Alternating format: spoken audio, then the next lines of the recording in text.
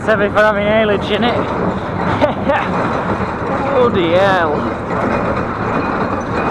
We're gonna have a